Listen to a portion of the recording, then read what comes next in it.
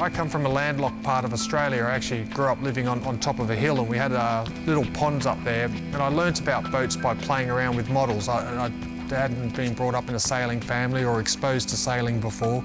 And so the shapes of these models I used to build, I would try everything that my mind could think of without having anyone tell me that's what it should look like. The Sail Rocket project believes it can overcome many of the existing barriers to sailing speed and win back the title of world's fastest sailing boat from Hydroptere. Its unique design has its origins in a revolutionary but obscure text written over 50 years ago by scientist Bernard Smith. When I saw this dusty old book and it said the 40 knot sailboat, I was wondering what, what a book that old was talking about what they thought a 40 knot sailboat would look like. And on the other side of the world, an English engineer was also discovering Smith's pioneering theories. I arrived at the pond with one of my old, old style models, and at the other end of this 800-foot pond, I saw this little sail dart across the water, and I thought, whatever that guy's got, I want one. And it turns out he'd built a model of a Bernard Smith type boat. For speed sailing, I've never since then looked at another concept. In 2008, Vestas Sail Rocket 1 set a then record of 47.31 knots. As Bernard Smith's research predicted, efficiency through the air was as critical as performance through the water in the quest for boat speed. Most often when we talk about boats, everyone thinks about a waterborne craft that sticks something in the air to catch the wind. This could equally be seen as an aeroplane that touches the water. One of the design specifications for this boat is that in an extraordinary circumstance where it finds itself in mid-air travelling at very high speed, it must be able to glide back into the water and carry on sailing.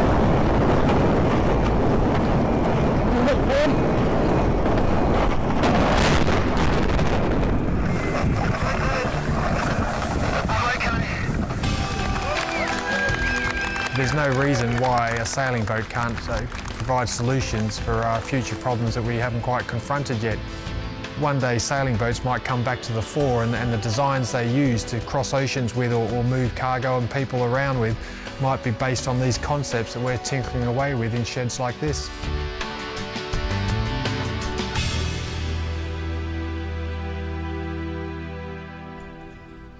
Many people, many designers uh, optimize boat around power. The more sail area you can have, seemingly faster boat will go.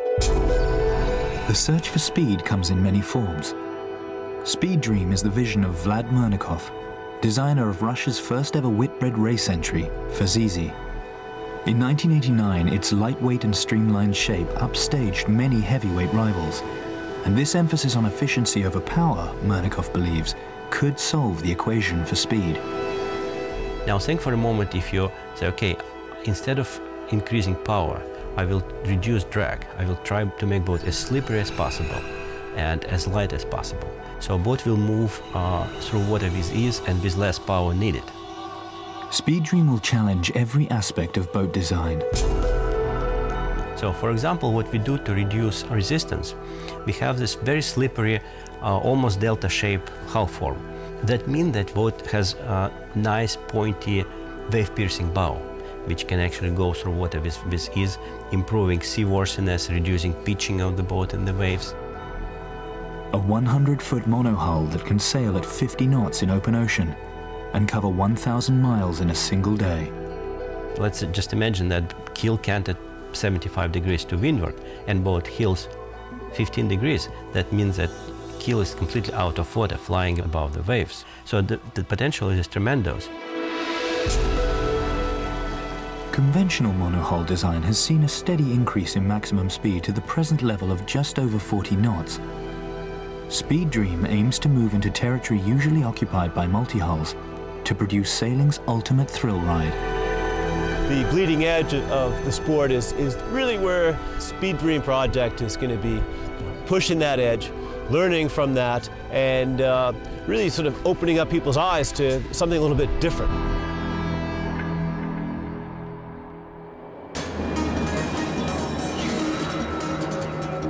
F-18 is uh, one of the best aircraft. It's the most maneuverable aircraft that has been ever created. It travels at 20 times the speed of the fastest sailing boat. But the aerodynamic forces that keep an F-18 jet fighter airborne are exactly the same as the ones that propel a boat on the water. The only reference to speed that you have is your speed meter, your Mach meter that tells you, oh, you're below, you're over the sound barrier.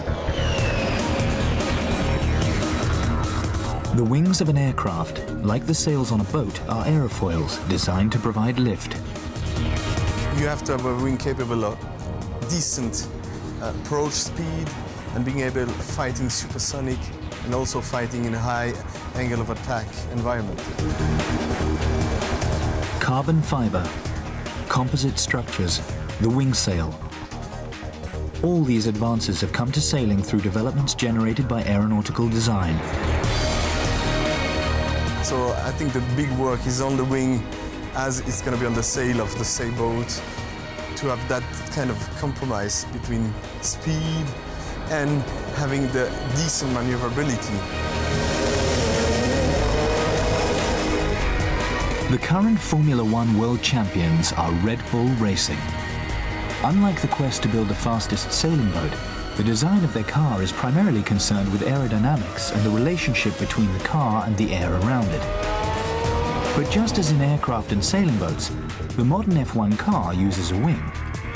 Its aerofoil, though, is inverted, producing downforce, not lift, allowing greater cornering speed. But as in all three disciplines of design, the same fundamental principles apply. We've borrowed very heavily from the aerospace industry, aerodynamics, control systems, um, structures, composites and so forth. I think that's part of racing car design just as it is with yacht design. It uses many disciplines, aerodynamics, structures, vehicle dynamics. There are many facets and assets to it. And the car that's quick will be the car that combines all those. Racing yacht design must be exactly the same as that.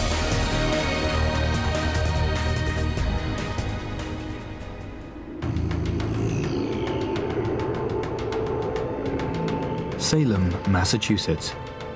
A city made infamous by the 17th century witch trials, which saw 19 people sentenced to death for practicing black magic. More than 300 years later, there's another kind of sorcery which is making the city famous. But this time it's based on scientific fact. Sails often what decides the outcome of the race. The sail will often define how the whole boat feels, balances, performs, how much it tips, how much it doesn't tip. It's just like the right engine in the right racing car. The winners of the last America's Cup, BMW Oracle Racing, sailed to victory with a rigid wing sail larger than the wingspan of a 747 airliner. The aerodynamic efficiency of this adjustable aerofoil was twice that of a comparable soft sail. The days of the traditional sail plan seem numbered. What I see coming are rotated masts that are really leading edge to a wing and the sail becomes the back part of the wing. And that could actually eliminate the need for jibs, uh, which is little sail you normally see in front of the main to give it a nice leading edge. If you can have the mast do that job, it will make sailing that much easier because you, you eliminate the need for one more sail. The design innovations which grab the headlines may still be years away from reality for the average sailor, but the lag between development and implementation grows ever shorter. With the advent of cheaper, you know, faster computers, simulations are becoming more and more reality. So a lot of the projects we work on, you know, that we wind up doing now in six months, even 10 years ago are, you know, a couple year projects. So I think people are going to be able to explore the boundaries like they never have before. The science of sailmaking, I think it's going to serve us well because hopefully it'll let us replace powerboats, make sail, sailing so easy the guy that wants to just turn a key and go out for a Sunday afternoon cruise will be more inclined to go back to sailboat. Also, if we get gasoline prices at $5, $10, $20, who knows where it's going to end up, all of a sudden a sailboat will become very attractive again.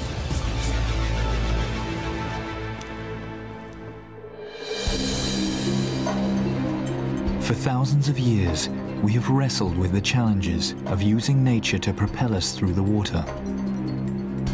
Searching for the most effective way to make the best use of the elements around us.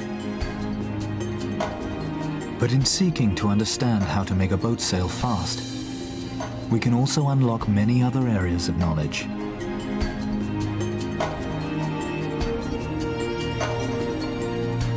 We can gain a greater understanding of how blood flows around our bodies. We can use less of our planet's resources. And we can find more efficient ways to generate power. There's a certain purity and kind of beauty about using nature to propel yourself. You know, I don't think that's ever going to go away, no matter how good technology gets. Um, you know, there's still going to be nothing like being on a boat in the water, using the sails to get yourself somewhere.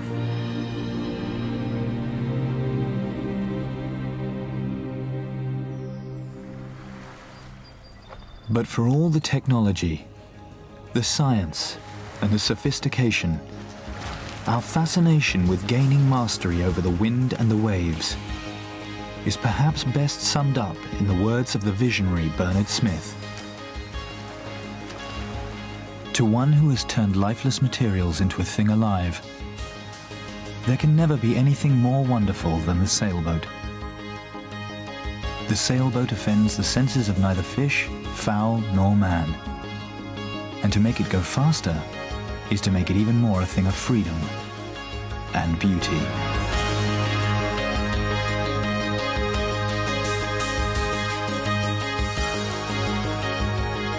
Next time on the Rolex Spirit of Yachting, we follow in the footsteps of ancient history, from the town of Gaeta in Italy, around the mystical Aeolian Islands to the finish in Capri, in the Volcano Race, part of Rolex Capri Sailing Week.